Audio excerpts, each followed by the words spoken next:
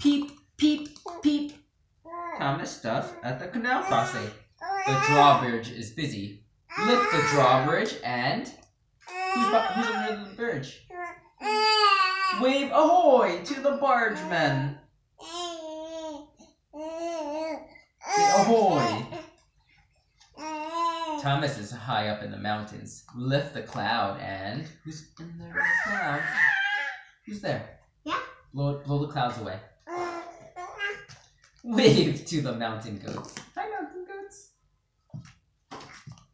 Peep peep.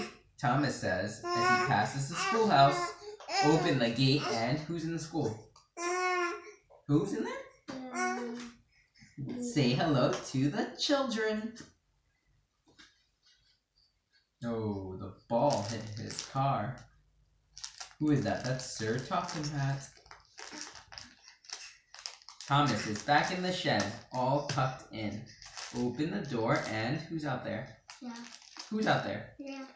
Yeah, who's out there? Harold. Harold. Wave goodnight to Harold, the helicopter. Good night. we just book? Oh boy. Down at the.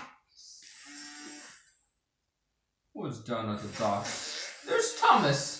He's going down to Brendam Docks with his friend Harvey and Cranky.